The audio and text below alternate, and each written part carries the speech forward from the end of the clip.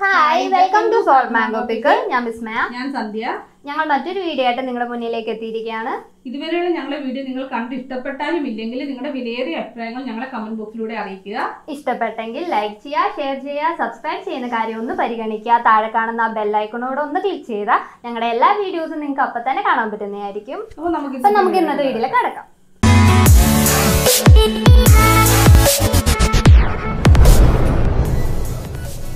അപ്പം നമ്മൾ ഇന്നിവിടെ ഉണ്ടാക്കാൻ പോകുന്നത് chicken popcorn with French fries ആണ്. അതിന് വേണ്ട ഇൻഗ്രീഡിയൻസ് എന്തൊക്കെയാണെന്ന് നോക്കാം.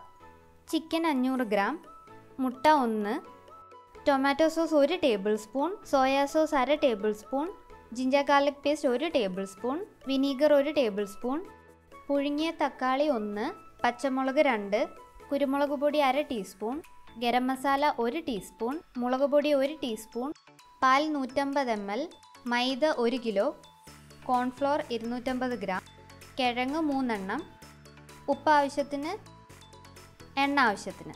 അപ്പം നമുക്ക് ചിക്കൻ മാറിനേറ്റ് ചെയ്യാൻ വെക്കാം. മാറിനേഷന് വേണ്ടി നമുക്ക് ആദ്യം ഞാൻ എടുത്തു വെച്ചിരിക്കുന്ന ഒരു തക്കാളിയും രണ്ട് പച്ചമുളകും ഒന്ന് മിക്സിയിലിട്ട് നല്ലോണം അടിച്ചെടുക്കാം. ഞാനിവിടെ പുഴുങ്ങി തൊലി കളഞ്ഞു വെച്ചിരിക്കുന്ന തക്കാളിയാണ് എടുത്തിരിക്കുന്നത്. ഇത് രണ്ടും നമുക്ക് മിക്സിയിലോട്ട് അരിഞ്ഞിട്ട് കൊടുക്കാം. ഇനി നമുക്കിത് നല്ലോണം ഒന്ന് അടിച്ചെടുക്കാം.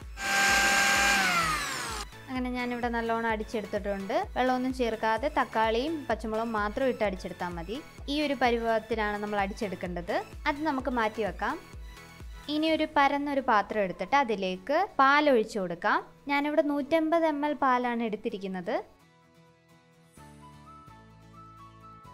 ഇനി നമുക്കതിലേക്ക് ഒരു ടേബിൾ സ്പൂൺ വിനീഗർ ചേർത്ത് കൊടുക്കാം. എന്നിട്ടൊന്ന് ചെറുതായിട്ടൊന്ന് മിക്സ് ചെയ്ത് കൊടുക്കാം.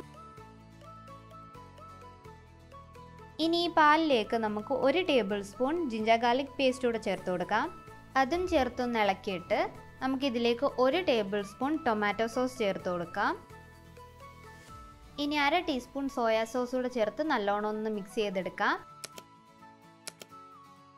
അതും മിക്സ് ചെയ്തെടുത്തിട്ട് നമുക്കിനി ഇതിലേക്ക് ഒരു ടീസ്പൂൺ ഗരം മസാല ചേർത്ത് കൊടുക്കാം. ഒരു ടീസ്പൂൺ മുളക് പൊടി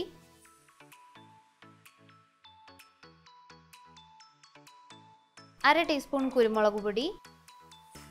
പിന്നെ നമ്മൾ നേരത്തെ അരച്ചു വെച്ചിരുന്ന ആ പേസ്റ്റ് കൂടെ ചേർത്ത് കൊടുക്കാം. ഇനി നല്ലതുപോലെ ഇതെല്ലാം കൂടെ ഒന്ന് മിക്സ് ചെയ്തെടുക്കാം. ഇനി ലാസ്റ്റിൽ നമുക്ക് ആവശ്യത്തിന് ഉപ്പ് കൂടെ ചേർത്തൊന്ന് മിക്സ് ചെയ്തെടുക്കാം. ഒരു ടീസ്പൂൺ ഉപ്പേ ഞാൻ ചേർക്കുന്നുള്ളൂ. നിങ്ങൾക്ക് നിങ്ങളുടെ ആവശ്യാനുസരണം ഉപ്പ് ചേർത്ത് കൊടുക്കാവുന്നതാണ്. ഇനി നമുക്ക് എടുത്തു വെച്ചിരിക്കുന്ന ചിക്കൻ ഇതിലേക്ക് ഇട്ട് കൊടുക്കാം. ഞാനൊരു ഇരുന്നൂറ്റമ്പത് ഗ്രാം ചിക്കനോളം എടുത്തിട്ടുണ്ട് ഇവിടെ. ഈ ചിക്കൻ ഞാൻ ചെറിയ ചെറിയ ബോക്സ് ആയിട്ടാണ് കട്ട് ചെയ്ത് ചെയ്തെടുത്തിരിക്കുന്നത് ഒരു പോപ്കോണിന് വേണ്ട ആ ഒരു സൈസിൽ ഒരുപാട് വലുതുമല്ല ഒരുപാട് ചെറുതുമല്ല. ചിക്കനെല്ലാം നല്ലവണ്ണം മുങ്ങി കിടക്കുന്ന രീതിയിൽ വേണം നമ്മൾ ഇട്ട് കൊടുക്കാൻ. അങ്ങനെ ചിക്കനും ബാറ്ററും എല്ലാം നല്ലോണം ഒന്ന് മിക്സ് ചെയ്തിട്ട് നമുക്ക് ഇതൊരു അഞ്ച് മിനിറ്റ് റെസ്റ്റ് ചെയ്യാൻ വെക്കാം. അങ്ങനെ അഞ്ച് മിനിറ്റ് ആയിട്ടുണ്ട്. ഇനി നമുക്ക് ഇതിലേക്ക് ഒരു മുട്ടയും കൂടെ ഒന്ന് പൊട്ടിച്ചൊഴിച്ചു കൊടുക്കാം.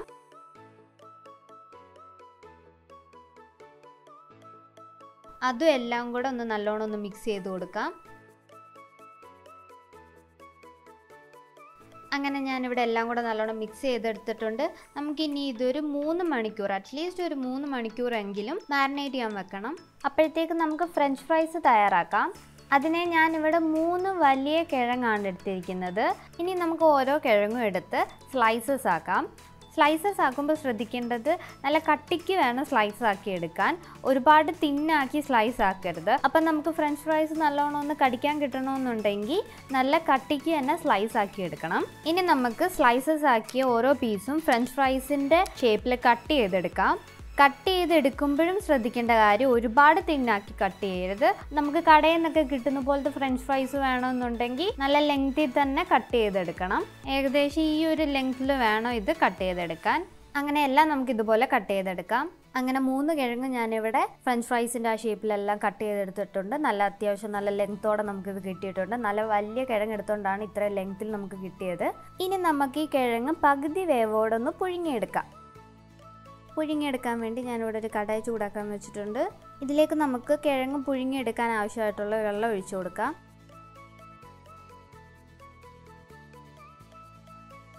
ഇനി ഇതിലേക്ക് ആവശ്യത്തിന് ഉപ്പ് ചേർത്ത് കൊടുക്കാം.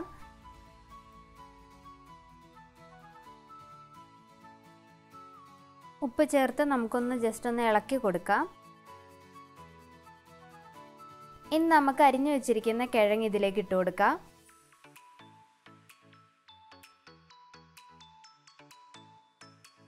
കിഴങ്ങെല്ലാം വെള്ളത്തിൽ മുങ്ങി കിടക്കുന്ന രീതിയിലൊന്ന് സ്പൂൺ വെച്ചൊന്ന് ജസ്റ്റ് ഇളക്കി കൊടുത്തിട്ട് നമുക്കിത് അടച്ചു വെച്ച് വേവിക്കാം. പകുതി വേവേ ആവാൻ പാടുള്ളൂ. അപ്പോൾ നമ്മുടെ കിഴങ്ങ് പകുതി വെന്തിട്ടുണ്ടെന്ന് തോന്നുന്നു. നമുക്ക് ഒരു ഫോർക്ക് എടുത്തിട്ടൊന്ന് ജസ്റ്റ് ഒന്ന് കുത്തി നോക്കാം. അത്യാവശ്യം വെന്തിട്ടുണ്ട്. അപ്പോൾ ഈ സമയത്ത് നമുക്ക് സ്റ്റവ് ഓഫ് ചെയ്തിട്ട് ഇറക്കി വെക്കാം. ഇനി നമുക്ക് കിഴങ്ങിലെ വെള്ളമെല്ലാം ഒന്ന് ഡ്രെയിൻ ചെയ്തെടുക്കാം. അതിനുവേണ്ടി ഇതുപോലൊരു അരിപ്പയ്ക്കകത്തോട്ട് നമുക്കിതൊന്ന് ഒഴിച്ചു കൊടുക്കാം. അങ്ങനെ കിഴങ്ങിലെ വെള്ളം എല്ലാം ഒന്ന് നല്ലോണം പോയി കിട്ടണം. അതിനു വേണ്ടി നമുക്ക് ഇതൊരു അഞ്ച് മിനിറ്റ് മാറ്റി വെക്കാം. അങ്ങനെ ഇവിടെ അഞ്ച് മിനിറ്റ് ആയിട്ടുണ്ട്. കിഴങ്ങിലെ വെള്ളം എല്ലാം അത്യാവശ്യം നല്ലോണം ഒന്ന് പോയി കിട്ടിയിട്ടുണ്ട്. ഇനി നമുക്ക് ഇതുപോലൊരു പ്ലേറ്റ് എടുത്തിട്ട് ഓരോ കിഴങ്ങും നമുക്ക് ഇതിലേക്ക് ഇങ്ങനെ വെച്ച് വെച്ച് കൊടുക്കാം. ഇത് നമുക്കൊന്ന് ഫ്രീസ് ചെയ്തെടുക്കാൻ വേണ്ടിയാണ് ഞാൻ ഇങ്ങനെ വെച്ച് കൊടുക്കുന്നത്. സൂക്ഷിച്ച് ഓരോന്നും എടുത്ത് നമുക്ക് ഇതുപോലെ പാത്രത്തിലേക്ക് വെച്ച് കൊടുക്കാം. അങ്ങനെ ഞാൻ എല്ലാ കിഴങ്ങും ഇവിടെ ഇതുപോലെ പാത്രത്തിൽ സെറ്റ് ചെയ്തെടുത്തിട്ടുണ്ട്. ഇനി നമുക്കിതൊരു അരമണിക്കൂർ ഫ്രീസ് ചെയ്യാൻ വെക്കാം.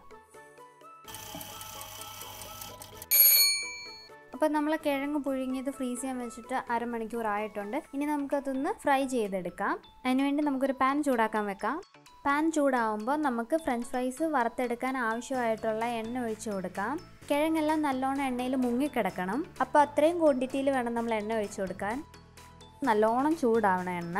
അങ്ങനെ നല്ലോണം ചൂടായി വരുമ്പോൾ നമ്മൾ ഫ്രീസ് ചെയ്യാൻ വെച്ചിരുന്ന നമ്മുടെ കിഴങ്ങ് ഇതിലേക്ക് ഇട്ട് കൊടുക്കാം. നമ്മൾ കിഴങ്ങൊന്ന് പകുതി വേവിച്ചുകൊണ്ട് ഒന്ന് ജസ്റ്റ് ഒരു ചെറിയൊരു ക്രിസ്പി കോട്ടിങ് കിട്ടിയാൽ മതി. അപ്പോഴത്തേക്ക് നമ്മുടെ ഫ്രഞ്ച് ഫ്രൈസ് റെഡിയാവും അപ്പോൾ ആ ഒരു ചെറിയ ക്രിസ്പി കോട്ടിങ് കിട്ടുമ്പോൾ നമുക്ക് എടുക്കാം.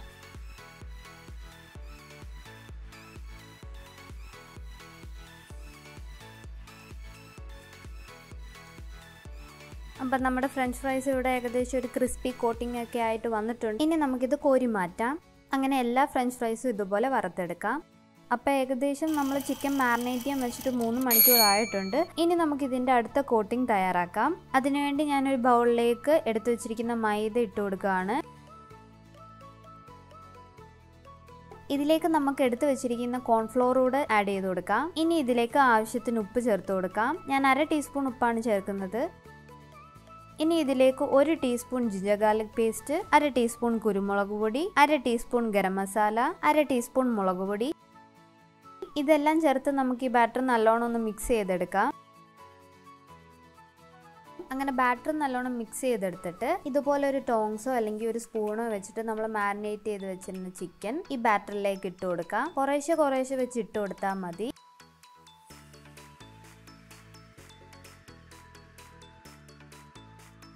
എന്നിട്ട് നമുക്ക് ഈ ബാറ്ററിൽ മൊത്തത്തിൽ ഒന്ന് ഈ ചിക്കൻ എല്ലാം ഒന്ന് നല്ലോണം കോട്ട് ചെയ്തെടുക്കാം. കോട്ട് ചെയ്തിട്ട് നമ്മൾ ഓരോ ചിക്കൻ ഇങ്ങനെ വിട്ട് വിട്ട് ഇതുപോലെ വേറൊരു പ്ലേറ്റിലേക്ക് മാറ്റി വെക്കാം. അങ്ങനെ നമ്മുടെ എല്ലാ ചിക്കനും ഇതുപോലെ കോട്ട് ചെയ്തെടുക്കാം. അങ്ങനെ ഒരു സെറ്റ് കോട്ടിംഗ് ഇവിടെ കഴിഞ്ഞിട്ടുണ്ട്. നമ്മൾ ഡബിൾ കോട്ടിംഗ് ആണ് ചെയ്യുന്നത്. അപ്പോൾ ഞാൻ എല്ലാ ചിക്കനും ഒരു സെറ്റ് കോട്ടിംഗ് ഇവിടെ ചെയ്തു വെച്ചിട്ടുണ്ട്. ഇനി നമുക്ക് സെയിം പ്രോസസ്സ് തന്നെ കണ്ടിന്യൂ ചെയ്യാം. അടുത്ത സെറ്റ് കോട്ടിങ്ങിന് വേണ്ടി നമ്മൾ ആദ്യമേ കോട്ട് ചെയ്ത് വെച്ചിരിക്കുന്ന ചിക്കൻ ഇതുപോലെ ആദ്യം നമ്മൾ മാരിനേറ്റ് ചെയ്ത് വെച്ചിരുന്ന ആ ബാറ്ററിൽ മുക്കിയിട്ട് പിന്നെ നമ്മുടെ മൈദയുടെ ബാറ്ററിൽ മുക്കിയിട്ട്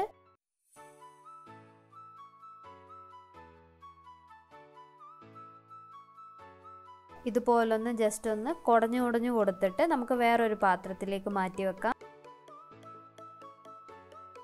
അങ്ങനെ ഞാനിവിടെ എല്ലാ ചിക്കനും ഡബിൾ കോട്ട് ചെയ്തെടുത്തിട്ടുണ്ട്. ഡബിൾ കോട്ട് ചെയ്യുമ്പോൾ നമുക്ക് നല്ല ക്രിസ്പി ലെയർ കിട്ടും.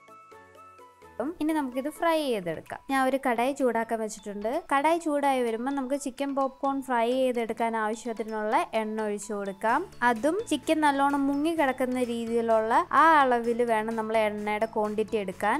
ഇനി എണ്ണ നല്ലോണം ചൂടായി വരുമ്പോൾ നമുക്ക് ഓരോരോ ചിക്കനായിട്ട് ഈ എണ്ണയിലേക്ക് ഇട്ട് കൊടുക്കാം.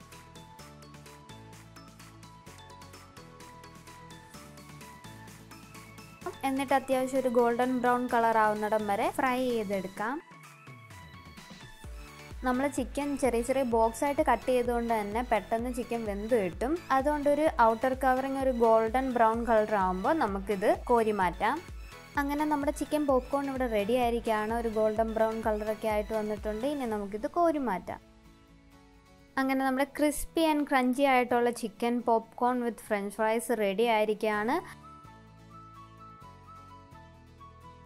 മയണൈസിന്റെ വീഡിയോയുടെ ലിങ്ക് താഴെ ഡിസ്ക്രിപ്ഷനിൽ ഇട്ടിട്ടുണ്ട്. ചെക്കൗട്ട് ചെയ്താൽ മതി. ടൊമാറ്റോ കെച്ചപ്പിന്റെ വീഡിയോ എനിക്ക് എടുക്കാൻ പറ്റിയില്ല. അത് വേറെ ഒരു ദിവസം തീർച്ചയായിട്ടും ഞാൻ കാണിക്കുന്നതായിരിക്കും. അങ്ങനെ കടയിലൊക്കെ കിട്ടുന്ന പോലത്തെ നല്ല ക്രിസ്പി ആൻഡ് ക്രഞ്ചി ആയിട്ടുള്ള ചിക്കൻ പോപ്കോൺ ആണ്. അതുപോലെ തന്നെയാണ് ഫ്രഞ്ച് ഫ്രൈസും നമുക്ക് വീട്ടിൽ തന്നെ എളുപ്പത്തിൽ തയ്യാറാക്കാൻ പറ്റും. കുട്ടികൾക്കൊക്കെ ഒരുപാട് ഇഷ്ടപ്പെടുന്ന ഒരു ഡിഷാണ് അതുകൊണ്ട് തീർച്ചയായും എല്ലാവരും ഒന്ന് ട്രൈ ചെയ്ത് നോക്കുക. എന്നിട്ട് കമന്റ് അറിയിക്കുക.